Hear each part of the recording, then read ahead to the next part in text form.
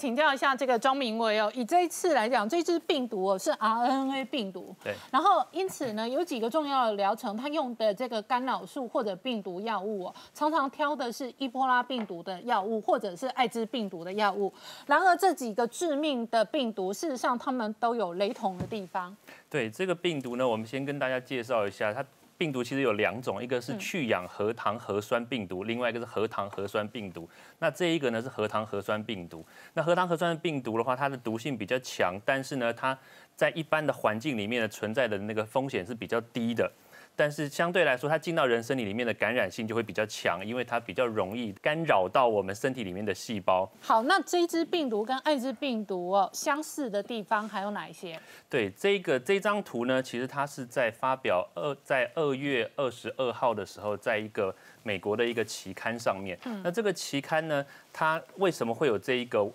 这个标题？大家可以很明显看到这个标题上面写说，哎，我们跟这个病毒呢，跟 HIV 完全没有关联。嗯，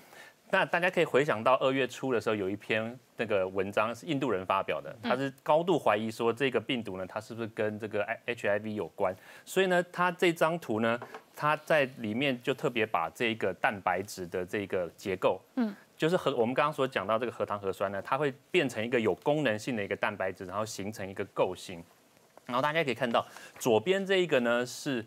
这个这个标准的这一个结构，那右边那个呢是 HIV 的结构，那左边这个就是我们这一次的新冠状病毒的这这个这个手，就是 S 蛋白的这个手。那其实呢，它的序列其实有大概四个小非常小的片段呢，是跟 HIV 高度雷同。嗯，但是呢，在结合成这个整个构构型之后呢，它看起来这个蛋白质就不太像是。这一个 HIV 所形成的这个结构，那当然呢，因为我们刚刚也有听到明老师刚刚所说的这个中国大陆的这些嗯。统战或者是一些宣传的一些文宣，实际上呢，